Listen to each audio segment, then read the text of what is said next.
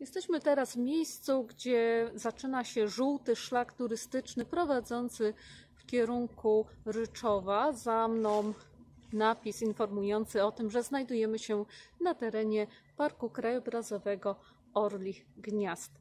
E, Szlak jest prosty. Po drodze mijamy mm, ścieżkę nieoznakowaną do wąwozu Ruska. E, Postaramy się tam dzisiaj dotrzeć. Mm, e, Jeżeli pójdziemy dalej w kieru- kierunku Ryczowa, mm, e, będziemy mogli e, w łatwy sposób obejść teren rezerwatu Ruskie Góry, nie ingerując, nie wchodząc na sam teren rezerwatu. Żółty szlak turystyczny prowadzi nas ścieżką pomiędzy borem, borem sosnowym świeżym. Mamy wczesną wiosnę, w zasadzie wiosna dopiero się zaczęła. E, Z uwagi na to, że troszeczkę ten okres zimy nam się przedłużał, stosunkowo niskie temperatury wciąż utrzymują się.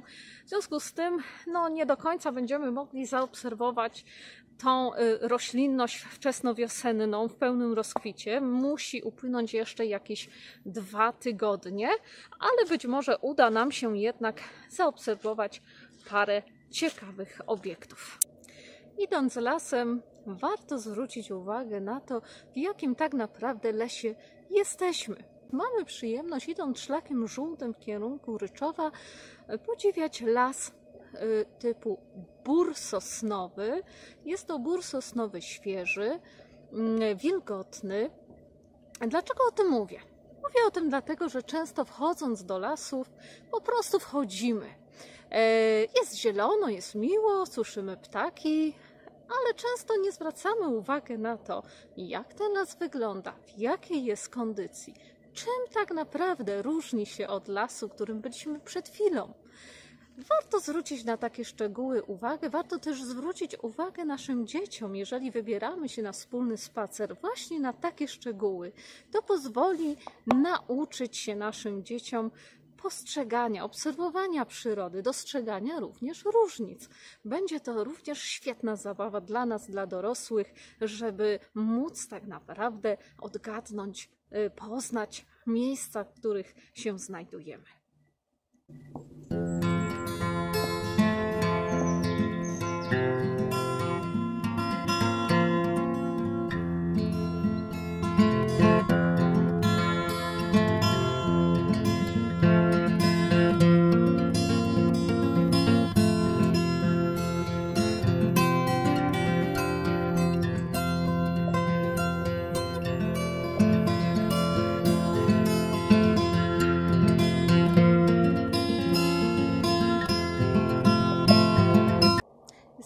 Teraz tej części szlaku, gdzie zaczynają być już wyraźnie widoczne ostańce skalne, wapienne, jakie możemy podziwiać na trasie dzisiejszej naszej wycieczki.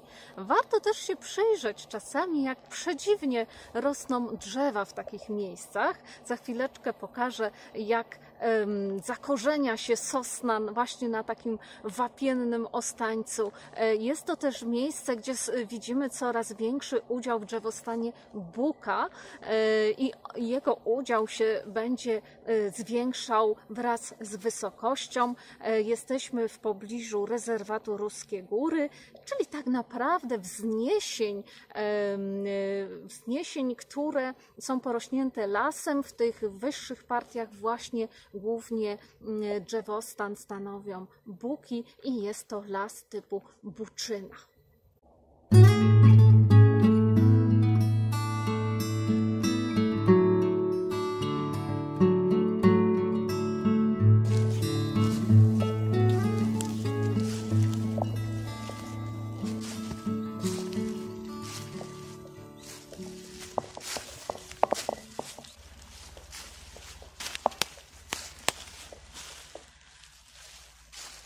Warto zwrócić uwagę w tym miejscu na rozmieszczenie korzeni i pni tych dwóch drzew. Mamy tu ze sobą splecioną sosnę z bukiem.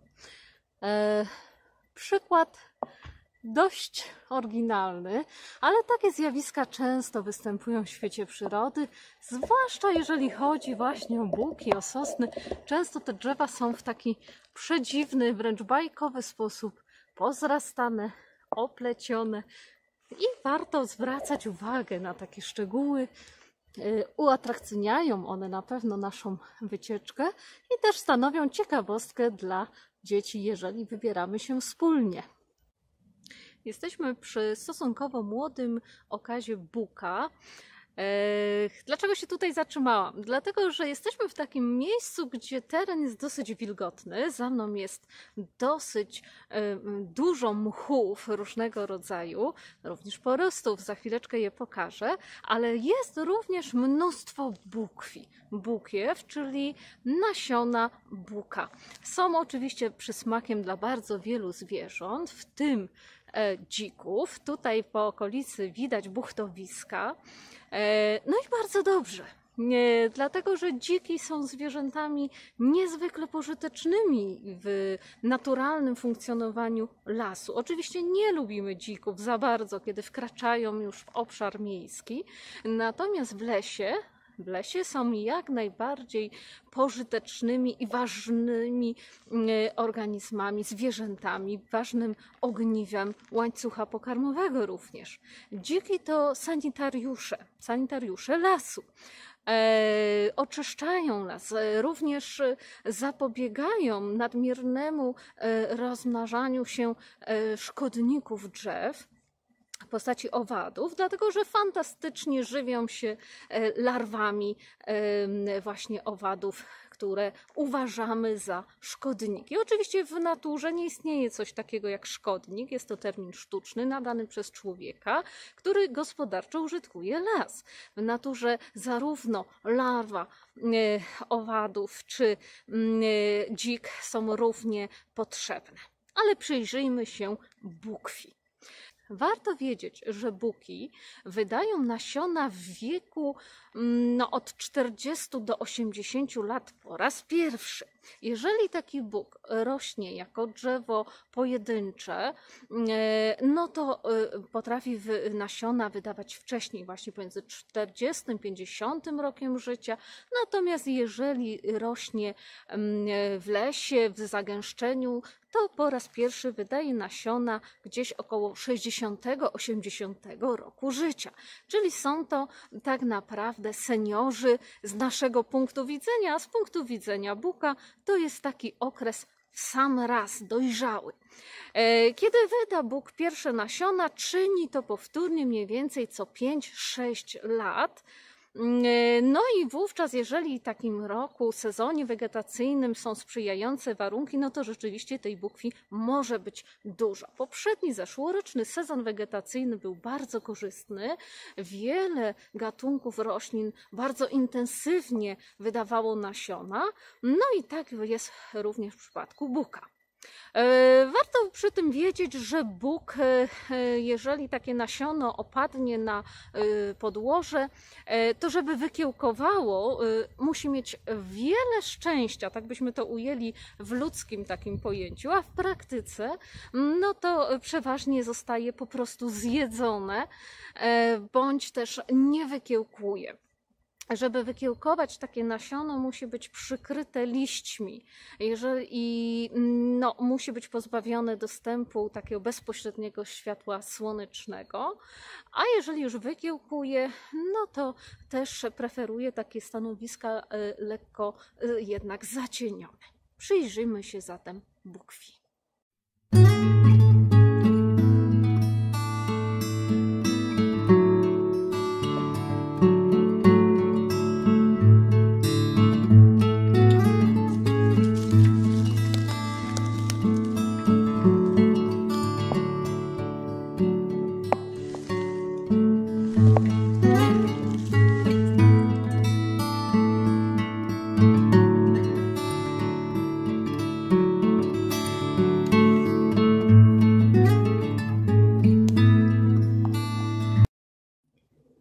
Tutaj jest miejsce właśnie buchtowania dzików, czyli taki teren zryty przez dziki. no, ryją w poszukiwaniu właśnie pożywienia. Często też grupując się razem, odpoczywając, właśnie czynią to w takich miejscach zrytych, charakterystycznych, ale to jest ich teren. Właśnie tutaj powinny przebywać.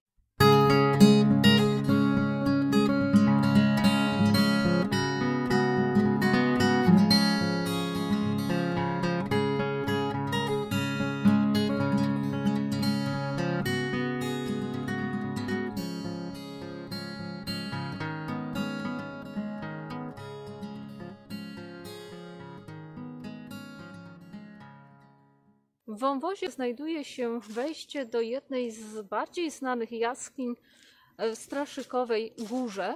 Mm, Warto jednak pamiętać, że na Jurze, w części śląskiej, mm, Parku Krajobrazowego Orlich Gniazd, dla ruchu turystycznego udostępniona jest tylko jedna jaskinia. E, Jaskinia znajduje się zresztą w rezerwacie Góra Zborów. Także nie zachęcamy do eksploracji na własną rękę tutejszych jaskiń.